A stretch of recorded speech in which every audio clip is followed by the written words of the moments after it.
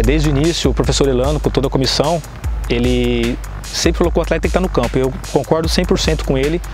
O atleta tem que estar onde ele joga, né?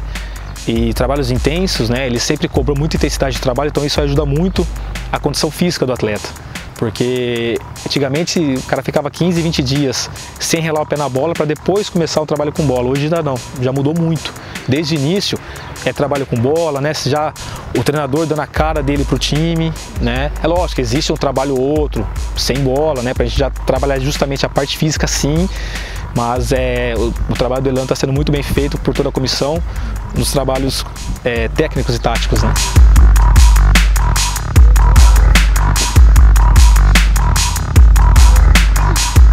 Os atletas que aqui estão hoje, né, com exceção do Roger Bernardo, que chegou contratado, né, todos nós já sabemos como eles vieram, porque eles vieram de uma temporada de Série 2, Copa Paulista, né? Então nós sabemos já de todos como, que foi, como foi a carga deles anteriormente e para saber como vai ser posteriormente.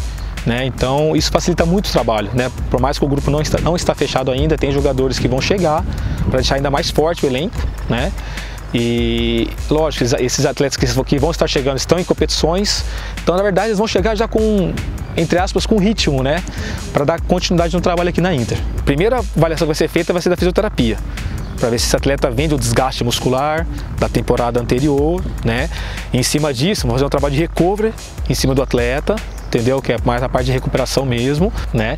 Mas desde o início, desde semana passada, desde a apresentação, é, nós temos reuniões periódicas na comissão para discutir como que foi o treino, se atendeu às nossas necessidades e discutir como que vai ser o próximo treino, montagem de treino, né? enfim, tudo para ter um controle é, fidedigno dos treinos, né, dos atletas, de acordo com o que eles respondem para nós, né, justamente para isso, para evitar lesões, né?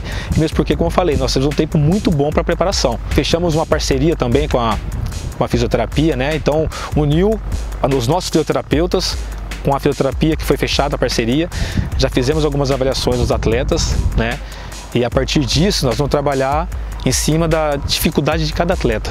Né, da, da, deficiência, na verdade, de cada atleta, entendeu? Cada atleta tem sua avaliação específica. Isso, nós fizemos avaliações de força, né? É, percentual de gordura, força, é, desequilíbrios musculares, né?